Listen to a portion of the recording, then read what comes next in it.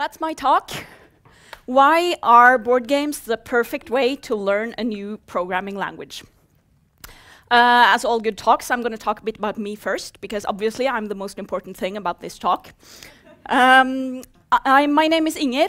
I'm 37. I live in Oslo with my partner and all of our board games, obviously.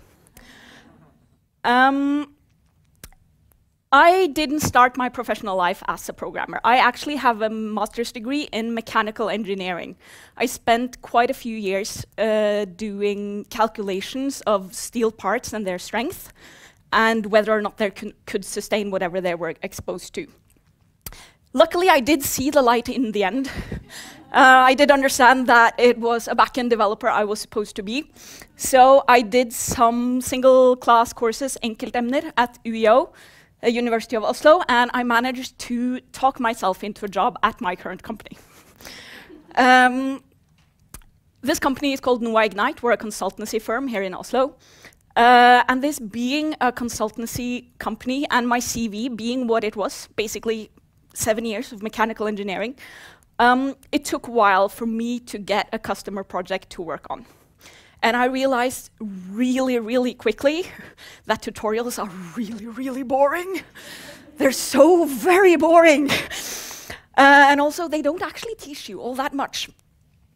Uh, so, so what are you to do? What are you to do when you want to learn something new and you have no idea how? Luckily, I have uh, friends who are also developers and uh, lamenting my sorrow to a friend of mine, he was like, but I mean, that's easy just, you're a geek, do a board game. That's a perfect exercise. And I was like, okay, sure. but I was desperate and was like, this doesn't sound that promising, but how bad can it be? Um, so that's what I did.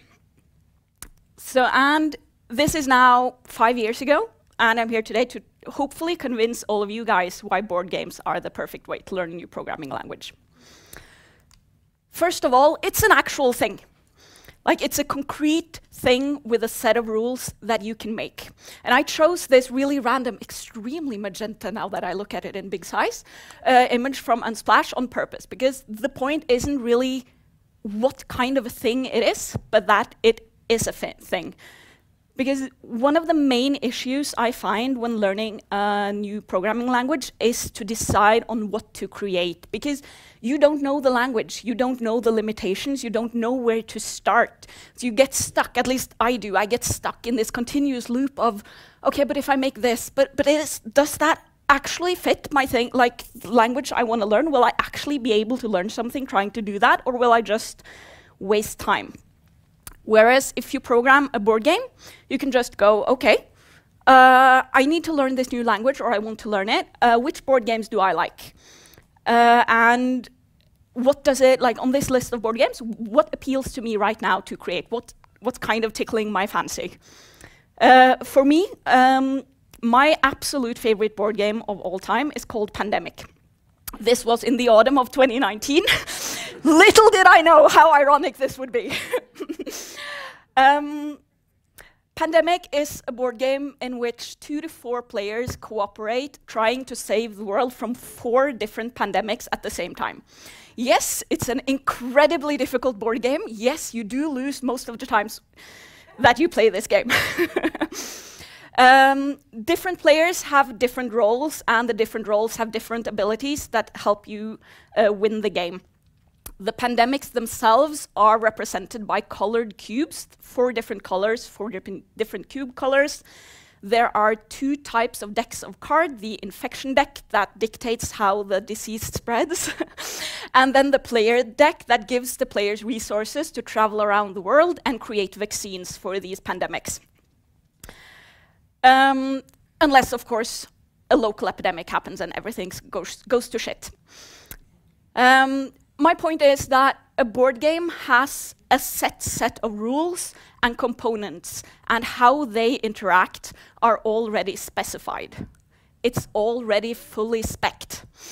I think every single developer I know hates specification meetings and poker plannings and Christmas and t-shirt, whatever you want to call it. It's the bane of our existence, right? we realize they are a necessity, but they're terrible. With programming a board game, you can just skip that step because you have the rule book.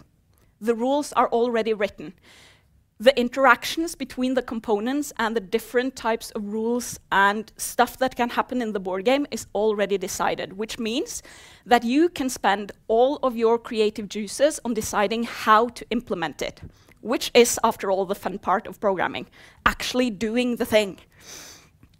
Uh, so it's all of the fun and none of the boring stuff. Um, I also find that programming an actual board game teaches you how to solve actual problems using the language you want to learn.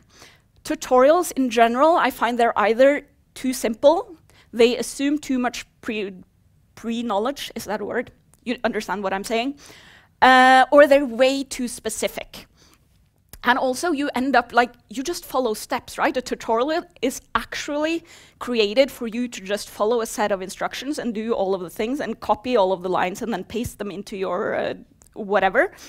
And it just works. And you don't actually learn, you just learn to follow instructions. Whereas uh, if you have to program a board game, you will get bugs. You will have to bang your head against that brick wall of how the fuck do I solve this problem? How the hell do I implement this interaction between this thing that I programmed this way and this thing that I programmed this other way, and I did not think about this interaction. It actually forces you to think and create. And I think that's part of the value, at least for me as a developer, I get to learn new stuff all of the time. That's one of the reasons why I love being a developer. And programming board games allows you to do that instead of just watching boring tutorials. And you also get to start small. I believe with Pandemic, I started with the board itself, which is just a set of cities, and each city has a color and a name. Fairly simple, even for a tiny baby developer. That's in most languages, that will be okay to implement. And then you can expand you can ex expand the system, you can create players, you can create decks, you can create, like I said, Pandemic has two different decks of cards.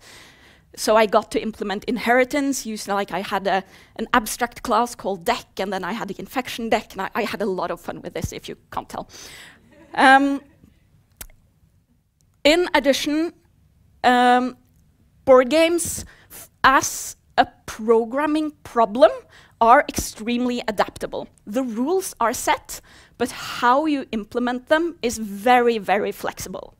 And I think most of us, when we want to learn a new language, yes, we want to learn new languages, but we also have, we all have stuff we want to learn, stuff we want to explore that we haven't gotten to explore yet. And with board games, it's quite easy to turn that board game application into an exercise for whatever you want to learn. You want to get better at microservices? Okay, then split your board game into tiny, ridiculously tiny, tiny, tiny components that have to talk to each other. And then you discover all of the problems with microservices. And like, yeah, exactly. you all know what I'm talking about. Uh, do you want to learn GraphQL because you've only ever worked with REST APIs? Well, then make a game status class or whatever in your language and create an API that can request the status of the game and voila, you have a GraphQL API that you can uh, play around with. You want to learn cloud storage? Okay, pop some user, some fake user data into a storage account. Mind the cost. Um, I think I think most of us have gotten burned at some point. Uh, do you want to get experience creating front-end applications? Well, make a web app for your board game. Like the the possibilities are endless, and it's only your creativity that kind of sets the limit to what you can actually achieve using a board game. Uh, I remember I spent, I think, almost an entire day Googling how to shuffle a deck of cards programmat programmatically. And spoiler alert, it's a lot more complex than you think it is. To actually get it random, I used something called, I think it's called the Knuth algorithm. Like, it has its own name. It's amazing and it was fantastic. Uh, you can also, I also dream about programming a die using that lava lamp uh, randomized thing they have. Is it in Australia? I can't remember. There's an API for a lava lamp randomizer, which is just fantastic. I love programming so much. um, and last but not least, I've been talking extremely fast because I thought I had not enough time. That's fun. It's fun. Uh, tutorials are boring. I heard your groans. You all agree tutorials are boring, and we don't learn when we're not having fun. Um, when you get to choose what you want to program yourself, it be it a board game, a card game, whatever, something with set rules, choosing something that actually gives you energy makes your you have much more fun, so you learn more, and it makes your stamina stronger. Like you're able to keep going. I was on the bench, I believe it was like five months from I started my job till I actually got a customer uh, project. That's rough if all you're doing is watching tutorials, right? So just do it, create a board game. Um, since I've been going through this at super speed, I'm gonna show you my pandemic, which is kind of terrifying because I did this five years ago, mind you. So please don't judge me too harshly for the for whatever is on the screen. I haven't looked at this in ages. Can anyone see anything? No. Well, I can't. Now I can see something. Okay.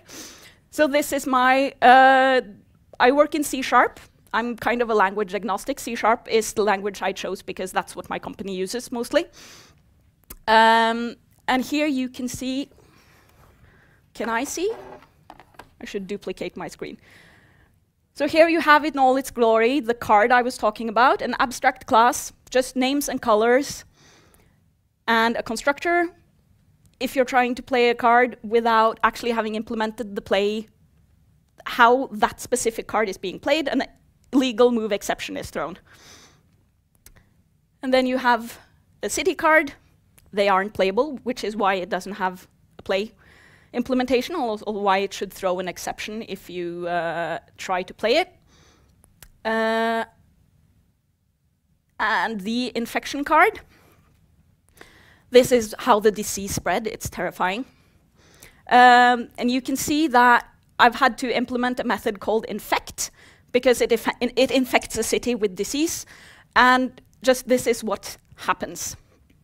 I also have in the bottom, and I've done this for all of it, like roles, there are different roles. I have the cities hard-coded here somewhere.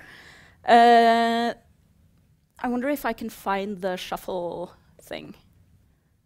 Here? Fisher Yates Knuth Shuffle.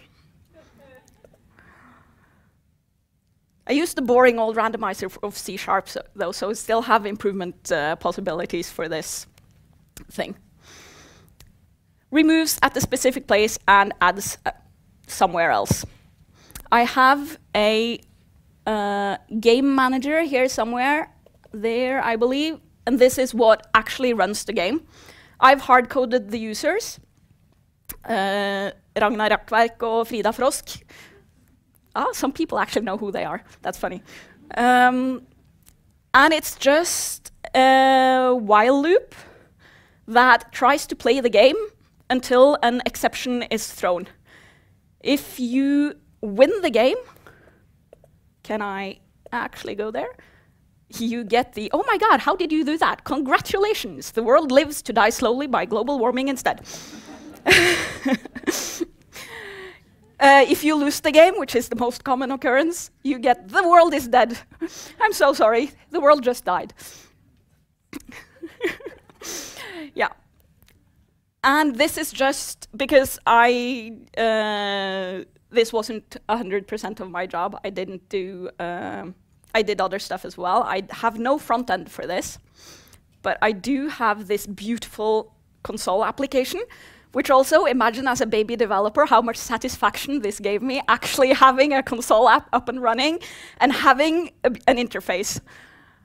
Let's do this the introductory way, and then you get, I wrote this whole text of welcome to pandemic, this is what you can do, these are your players. Uh, the following cities are infected with disease. Like this is useless in a console application. You actually need a front end to, to actually play the game. But it's still fun to see that it's there, that it updates appropriately, like that all of the elements actually work. So you have all of the moves you can do, and I can move my character from, let's say I want to use number two, direct flight, uh, which I can do by using the cards I have in my hand, which is down here. So I can either fly to Bo Bogota or I can use an airlift. So I can click to and I can apparently only airlift. That's interesting. I'm blaming the, the demo ghost for that one. But airlift allows me to move to any city I want to. So then I get a list of cities. I can use number three. And voila, I'm in Lima, I believe I went to. Yeah. So that also part of the fun of programming a board game is that you get to do this. And you, this is a board game, like I said, it's my absolute favorite board game, so I know this really well. I've played Pandemic shit tons. So, but, but also, while developing, that was actually incredibly practical because I saw the bugs. I knew how to test. Like you get rid of a lot of that uncertainty that you get when you're trying to learn a new language of just like, but is, it, is this a me problem or is this a language problem? Did I just misunderstand the rules or, or is this kind of like a finicky, weird thing about this specific language? Uh, and when you know the board game, it kind of helps a lot with that uncertainty and debugging and understanding what kind of bug you're dealing with and how to solve it. So I cannot recommend that enough. I'm going to close this down. Uh, and show you my last slide, which is this one. I have a QR code if you want to give me some feedback. I love feedback. Um, if not, thank you so much for your attention. Any questions?